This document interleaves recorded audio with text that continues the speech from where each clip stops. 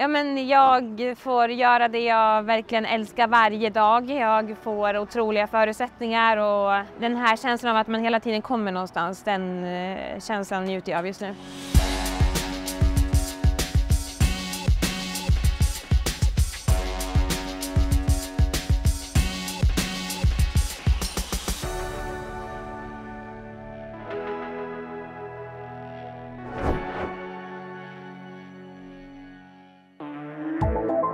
De sakerna vi gör måste vi bli bättre på. Eh, och så här, hur är det en, spel, en annan spelare som kan göra det bättre? Eller måste jag kunna förmedla det på ett annat sätt? Eller, alltså, tydligheten i det, eller är det ren träning på det som gör att vi blir lite bättre? Eh, till exempel. Så att en stor uppgift här är ju att få ut max av spelarna. Eh, Under en given kort period? Ja, och, och det är klart, det är, ju en sak sådär i EM, det var inget dåligt i EM på det sättet att det blev tre men vissa matcher eller turneringar så här, finns lite mer på några och det är en stor del av vårt jobb. Så det är mer det, hur knäcker man den koden att få ut mer av dig och dig och dig och dig. Eh, att prestera här och nu så i den här lilla tiden som det ändå får.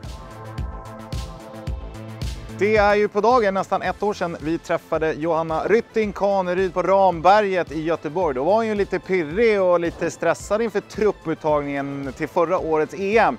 Nu idag utanför London så känns hon säkert betydligt lugnare då hon lämnat för Chelsea och mer eller mindre etablerat sig i eh, Peter Gerhardssons A-landslag. Så att idag kör vi Johanna Rytting Kaneryd. Såg du dig själv här när du började spela fotboll liksom, i det här lilla, lilla samhället? Nej, jag vet inte om jag gjorde det. Såklart man har alltid haft en dröm liksom om det och det är ibland så att man nästan får stanna upp och tänka vart man faktiskt är. Ehm, spela en semifinal i Camp Nou. Ja, exakt. Johanna, 10 år, som spelar med Forsby FF och var där och tittade. Det var liksom en dröm som, som gick i uppfyllelse. Så det var ett sånt moment där man bara shit, jag har verkligen tagit mig hit. Sen kanske inte just England var någonting jag drömde om, men med tanke på att det har vuxit så mycket som det har gjort på senaste åren så är det ju det absolut bästa. Är det något du känner från att du var liten, blev lite äldre så här, som, som gör att du har tagit dig hit?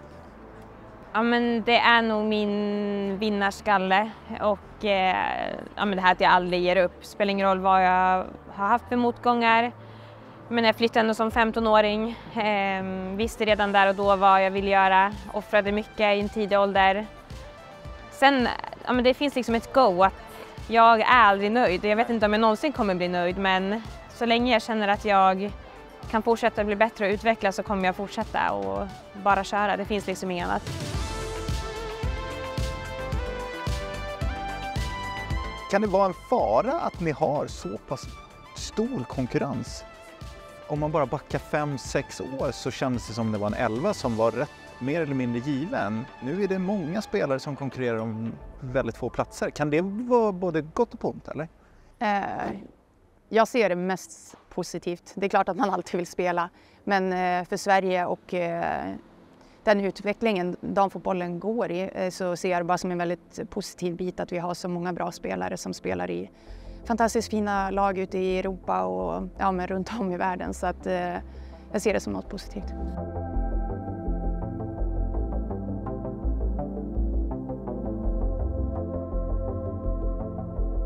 Det känns egentligen som att jag konkurrerar med alla offensiva spelare med tanke på att alla kan spela på, eh, på flera positioner. Men jag kan också spela på vänstersidan eh, även fast jag utgått från höger mestadels. Men... Ja, Rolfö kan spela till höger ja, precis. och Hurtig. Sofia Jakobsson Hurtig Kosse kan spela ja, till höger. precis. Mm. Så att, eh, nej, jag ser absolut att jag, jag ser ingenting att förlora. Jag ser mer bara saker att vinna om jag säger så. Så jag eh, kommer absolut gå in med inställningen att jag ska göra min grej och jag ska eh, ja, försöka liksom göra, det är poängen som jag vill. Ständigt de här poängen. Hur gör man det då? Alltså är, det, är det träning varje dag, något speciellt så eller? Ja, men är det någonting jag jobbat mycket på nu sista tiden så är det just att bli konsekvent i det jag gör och det är sista tredjedelen. För att jag har aldrig haft problem att egentligen ta mig till de lägena. Det är mer utförandet därifrån som har varit lite halvdant. Vilka ytor ska jag slå? Vilka, när är det läge att dribbla? När är det läge att vassla in bollen? Och där har jag själv aldrig sett mig som en inläggsspelare, eh, vilket jag kanske mer och mer har förstått att det är det jag kanske måste börja bli även fast jag gillar att utmana och göra, göra den biten också, men att hitta balansen där.